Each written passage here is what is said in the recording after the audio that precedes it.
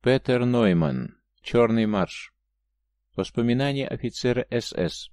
1938-1945. Часть первая. Рассвет. Глава первая. Я присягаю. Был чудный день, который я никогда не забуду. Шесть сотен парней 27-го гитлеровского молодежного отряда города Виттенберге собрались в Хафельском лесу и выстрелились в каре. Отделение Клауза Ранки и Георгий Бетевский построились по обеим сторонам просеки.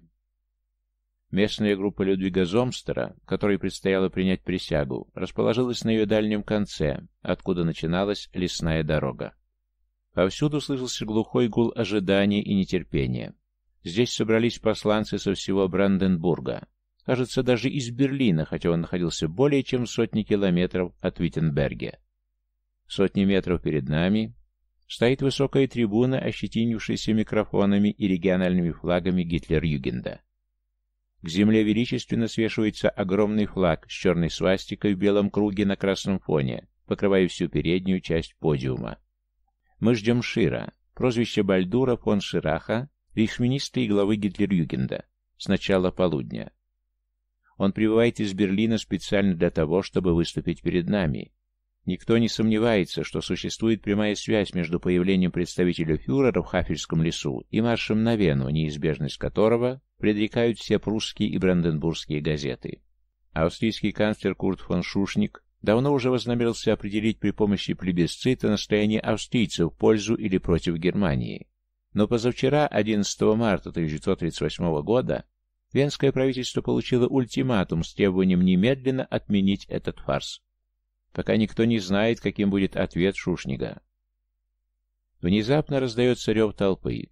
Вслед за эскортом мотоциклистов в черных защитных шлемах в конце просеки появляется везущий Шира серый «Опель-капитан» с золотистым флажком. Рейхсминист, стоя в пассажирском отсеке машины с вытяжным верхом, улыбается и помахивает рукой. Другой рукой он держится за стеклянную перегородку. Шир выглядит удивительно молодым и лучезарным. Солнечные лучи, пробивающиеся сквозь ветви высоких сосен, играют некоторое время на полированной поверхности автомобиля, который замедляет ход и останавливается рядом с трибуной. Фон Ширах проворно выходит из «Опеля», проходит несколько метров, быстро взбирается по деревянным ступенькам, поправляет один из микрофонов и поворачивается к нам лицом. «Айль Гитлер! Друзья, у меня для вас важные новости. Отныне Третий Рейх приобретает семь новых провинций. Буря аплодисментов встречает слова Шира, который заставляет ее умолкнуть взмахом руки. Вчера, 12 марта, Форальберг, Тироль, Зальцбург и восточные территории вернулись в лоно Великой Германской конфедерации. Зейс Инкварт, рейхсминист, занял место бывшего австрийского канцлера. Сомкнутые ряды толпы вновь разражаются продолжительной овацией. «Друзья», — продолжает Шир, вновь выставляя обе руки для сдерживания аплодисментов, «не будем забывать, что эта победа выбивает первое звено цепи, цепи, выкованной диктатом Версальского договора и призванной поработить нас, Буря ликования приветствует эти слова.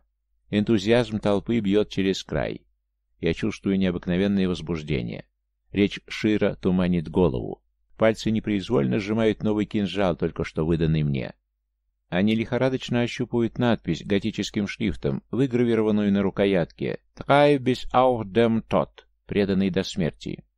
Лезвие острое, как бритва, но в данный момент я мог бы без колебаний обхватить его ладонью. Тогда бы первая капля крови, обогревшая чистую сталь, была бы моей собственной кровью. Бальдур фон продолжает говорить. В адресованной нам продолжительной речи он затрагивает расовую проблему, и прежде всего в вопросах, касающихся немцев. «Все вы, — говорит он, — представляете Германию на марше, являетесь символом нашего будущего, прочным фундаментом, на котором будет покоиться судьба Третьего Рейха Великой Германии. В основе тотальной реорганизации нации лежат глубоко укоренившиеся и мощные мотивы. Вспомните, что Земля находится в состоянии вечной эволюции. На наших глазах происходят биологические и психологические метаморфозы в человеке. Они прямо влияют на еще не родившиеся поколения. Шир делает паузу. Когда возобновляет речь, то чеканит каждое слово. Мы, немцы, не готовы подвергаться таким мутациям, подобно низшим животным, подобно бессловесному скоту. Наоборот, мы должны контролировать и определять такие перемены, должны способствовать им. Мы должны достичь статуса самого совершенного человеческого существа, сверхчеловека, опередив другие народы и расы, находящиеся в состоянии упадка или даже полной деградации.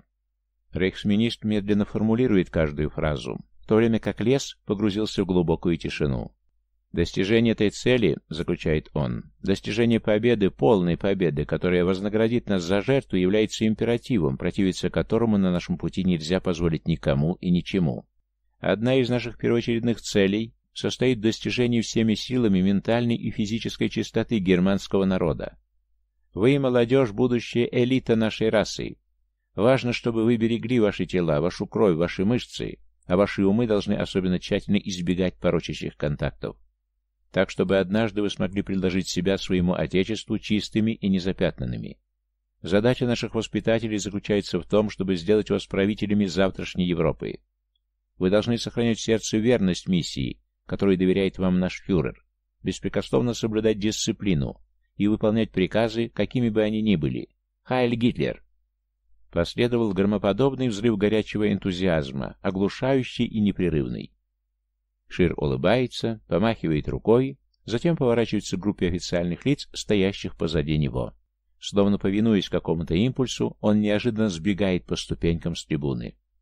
Хотя это не предусмотрено программой мероприятия, он направляется в нашу сторону и начинает инспектировать нас. Во время прохода между рядами у него для каждого находится ободряющее слово. Он расспрашивает гефольшафт фюрера о его спортивных успехах или дружески треплет щеку какого-нибудь парнички, который становится от смущения пунцово-красным. Мы преисполнены гордости и счастья. Час спустя начинается церемония посвящения новичков, члены Гитлер-Югенда. По резкому свистку шесть шарфюреров, шарфюрер, местной группы Зомстера, выступают вперед и образуют полукруг у подножия трибуны. Затем от фланговых формирований отделяются по шесть знаменосцев и движутся в направлении парней из группы Зомстера. Когда они становятся лицом к лицу, резкая команда приводит их в стойку смирно. Берлми, дирижер оркестра, подает знак. Волнующие, величественные и раскатистые мелодии песни о Хорсте Весселе сопровождает медленное склонение знамен. Посерьезневший Шир, глядя прямо перед собой, произносит соответственные слова клятвы. Все шарфюреры, положив указательный и средний пальцы на древко знамен, повторяют за ним. Клянетесь ли вы в том, что, подобно своим предкам, рыцарям Священной Германской империи, будете всегда помогать другим немцам, которые являются вашими братьями? Будете ли вы бесстрашно защищать женщин и детей? Готовы ли помогать другим в беде? Готовы ли целиком посвятить себя идеям немецкого дела? Клянемся! Рев голосов заполняет просеку, несется ввысь среди темных сосен, заглушая птичий щебет и жужжание насекомых. Клятва хранить верность четыре года несется эхом от дерева к дереву, от долины к долине, постепенно затихая на берегах текущей вдали реки Хафель. Клянетесь ли вы в любых условиях, и даже при угрозе смерти сохранять верность клятве, которую дали своим руководителям, стране и фюреру, канцлеру Адольфу Гитлеру? Клянемся. Верлми Снова поворачивается к оркестру. Начинают играть трубы, саксофоны и флейты, бить барабаны. Они исполняют волнующую песню «Deutsch mein Bruder» — «Немец мой брат», за которой следует мощная торжественная мелодия «Deutschland over alles» — «Германия превыше всего». Длинная трель свистка, и все закончено. Шир снова салютует, подняв правую руку в приветствии. Он быстро спускается по ступенькам с трибуны и садится в опель капитан.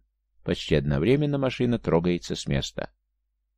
Толпа уже рассеялась. Она необычно молчалива. Некоторое время мы не можем говорить, стараясь сохранить в памяти все, что происходило подобно фотоизображению в объективе. Лишь когда Ранки начинает орать как сумасшедший, мы покидаем ряды. Мне кажется в этот момент, что Ранки совершил святотатство, что он разбил прекрасную и вечную мечту, мечту, которая вознесла нас под мелодией труп и звон литавр к вершинам славных подвигов, совершенных отцами и дедами на Марне, 1914 и 1918 годах, и под Седаном в 1870 где капитулировала французская шалонская армия Макмагона вместе с императором Наполеоном III. Мечту, которая позволила нам увидеть собственными глазами героическую атаку уланов смерти, несущихся на врага с пиками наперевес. Стиснув зубы и сжав пальцами кинжал, я повторяю слова надписи, выгравированной на рукоятке. «Такой bis auf dem Tod», преданный до смерти.